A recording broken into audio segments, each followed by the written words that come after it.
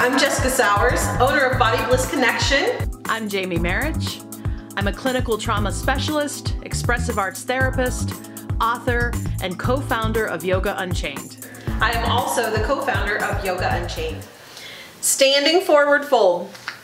So first, we'll discover our Tadasana or mountain pose. Deep connection through the feet, length in the spine, the core muscles wrapped around the spine to lengthen. On an inhale, let's sweep the arms up. Ensure that the knees are soft.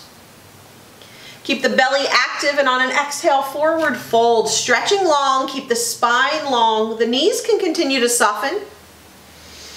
And surrendering the back of the head and the arms down towards the ground. So a few things to think about here is the back of the neck. We want to relieve all tension, all strain out of that neck and just let the top of the head hang down towards the earth. The fingertips can dangle and reach towards the ground. They never have to connect. They can simply dangle. If that feels uncomfortable, then we can cross the arms and let each hand grasp the opposite elbow and let the elbows dangle towards the earth. The one big key point that we want to keep in mind are the knees. We want to ensure that those knees are not locked. We want to ensure that they're soft and for those who feel more comfortable with a little deeper bend into those knees, that's perfectly fine. That's a great option to have here. So Jamie will release her arms, pull the belly in, and roll the spine all the way up to mm. standing. How did that feel, Jamie? I always love the way this makes me feel in my lower back, especially mm-hmm. in this moment. Uh, for me, it's like an adjustment, uh, mm. uh, particularly if I do this as one of my first poses of the day. It's often common for me to hear some cracks and pops, but to yes. me, it knows things are getting back into place. Mm. Uh, so I, I really do enjoy this pose. Um, I, one thing I want to note for the video, I'm glad that I was able as a larger person to demonstrate this to you because I think if you see some yoga photography online which tends yeah. to skew towards skinnier bodies the forward fold is like you have to be perfectly touching. But if your chest is larger no it's not going to look pristine. But no. the key is how does it feel in your body? If you're following the cues are you getting the benefits of the feeling? Well and that's just it. It's about how it feels in your body not about what it looks like. We don't want to try to mimic a pose. We don't want to try to mimic a picture. It is about the experience that your body's having in the posture.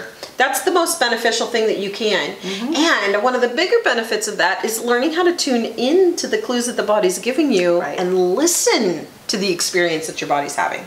So what's your usual experience with? I really enjoy forward fold. It's a really good posture for me in my body. Um, it really lengthens my spine. It helps to relieve that low back tension that I tend to get. Um, it creates a little extra space in my sacrum, which is right above the tailbone and below the waistline there.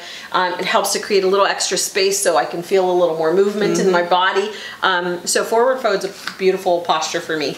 Do you often use this as part of a warm-up type sequence when you bring people to their feet? I do. I usually start on the ground um, and then build up, but it's a big, powerful posture to mm -hmm. use as a warm-up if you start standing as well. The other thing to think about too is any kind of standing postures, they're very strong and powerful. We've got our core engaged a lot. So a forward fold is a very releasing mm -hmm. posture and can be a very good thing to build in between some more uh, prominent peak poses, if you will. So one of the biggest modifications that you can do is start to come into that forward fold. Keep this belly active, soften the knees, and let the hands or the forearms come to rest on those thighs. And then you can decide to keep the head elevated so you're looking down at the ground or even looking up towards the horizon or let the head drape down. So it's going to depend on what your particular body is feeling like in that moment. But those are a couple of options where you're still getting that slight inversion um, and being able to release that low back a little.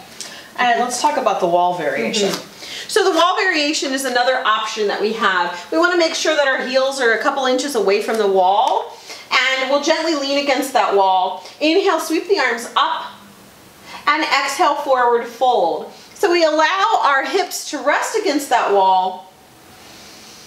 And this may help to comfort or create a little bit more of a sense of security for an individual. Go ahead, soften the knees and roll your body back up to standing. It allows um, our minds to perhaps notice that nobody can come behind us. And it's like the wall kind of has our back. It's giving us a little support back there. An extra element of grounding and support, Yeah. indeed. So, thank you for joining us for Forward Fold. Thank you.